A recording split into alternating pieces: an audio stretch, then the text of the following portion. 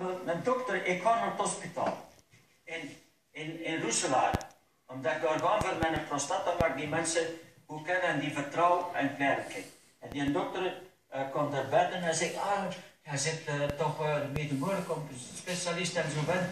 Hij zei, rustig, um, kun je van die poppen maken, zo, zo poppen voor, voor de mensen te leren op te ademen. Ik zeg, ja, kan dat, maar waarom?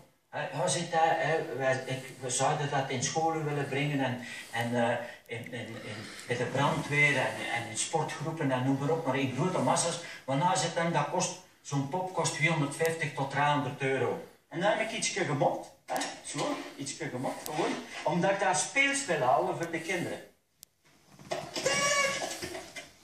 Hé, dat is wacht, ja, even in, ja, kijk.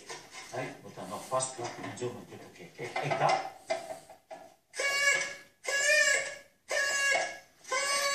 Deze maak ik compleet voor 50 euro. Het gaat hier niet over om hier, laten we zeggen, groot geld te verdienen, want dat interesseert mij niet meer. Maar toch, hè, uh, haal ik hier met die vier mensen een, een, een, een, een 20 miljoen Belgische frank omzet. En er speelt